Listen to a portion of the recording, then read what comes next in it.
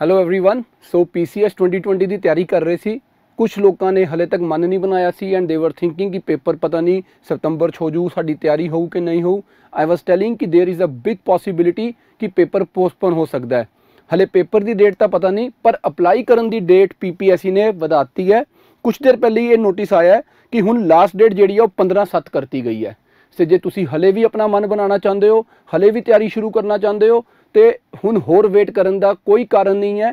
ਆਪਣੇ ਸੁਪਨਿਆਂ ਨੂੰ ਸਾਕਾਰ ਕਰਨ ਲਈ ਪਹਿਲਾ ਕਦਮ ਚੱਕੋ, ਤਿਆਰੀ ਕਰਨੀ ਸ਼ੁਰੂ ਕਰੋ। ਕੋਚਿੰਗ ਲੈਣੀ ਹੈ ਕਿ ਨਹੀਂ ਲੈਣੀ, ਇਹ ਬਾਅਦ ਦੀ ਗੱਲ ਹੈ। ਪਹਿਲੇ ਤਿਆਰੀ ਤਾਂ ਸ਼ੁਰੂ ਕਰੋ ਅਪਲਾਈ ਤਾਂ ਕਰੋ। And then once you apply then make a resolve ਆਪਣੇ ਆਪ ਨਾਲ ਵਾਅਦਾ ਕਰੋ ਕਿ ਅਸੀਂ ਹੁਣ ਪੂਰੀ ਸ਼ਿੱਦਤ ਨਾਲ, ਪੂਰੀ ਇਮਾਨਦਾਰੀ ਨਾਲ ਤਿਆਰੀ ਕਰਨੀ ਹੈ ਤੇ ਇਹ ਪੇਪਰ ਅਸੀਂ ਇਸ ਵਾਰੀ ਕਲੀਅਰ ਕਰਨਾ ਹੈ। ਐਂਡ ਬਲੀਵ ਮੀ ਬਹੁਤ ਟਾਈਮ ਮਿਲੂਗਾ। ਤੁਸੀਂ ਚੰਗੀ ਤਰ੍ਹਾਂ ਤਿਆਰੀ ਕਰ ਪਾਓਗੇ ਔਰ ਜਿਨ੍ਹਾਂ ਨੇ ਸਾਡਾ ਕੋਰਸ ਲੇਟ ਜੁਆਇਨ ਕੀਤਾ ਹੈ, ਜਿਨ੍ਹਾਂ ਦੀ ਕੁਝ ਕਲਾਸਿਸ ਮਿਸ ਹੋ ਗਈਆਂ ਸੀ 10 ਜੂਨ ਤੋਂ ਕੋਰਸ ਸ਼ੁਰੂ ਕੀਤਾ ਸੀ, ਸਾਨੂੰ ਹੁਣ ਪੱਕੀ ਉਮੀਦ ਹੈ, ਪੂਰੀ ਉਮੀਦ ਹੈ ਕਿ ਸਾਨੂੰ ਬਾਅਦ ਚੋਂ ਟਾਈਮ ਮਿਲੂਗਾ। ਅਸੀਂ ਉਹ ਸਿਲੇਬਸ ਜਿਹੜਾ ਤੁਹਾਨੂੰ ਕਹਿ ਰਹੇ ਸੀ ਕਿ ਤੁਸੀਂ ਪਹਿਲਾਂ ਰਿਕਾਰਡਡ ਵੇਖੋ, ਉਹ ਤੁਹਾਨੂੰ ਅਸੀਂ ਬਾਅਦ ਚੋਂ ਹੁਣ ਲਾਈਵ ਦੁਬਾਰਾ ਪੜ੍ਹਾ ਦਾਂਗੇ। ਸਾਡੇ ਕੋਲ ਟਾਈਮ ਮਿਲਣਾ ਹੀ ਮਿਲਣਾ ਹੈ।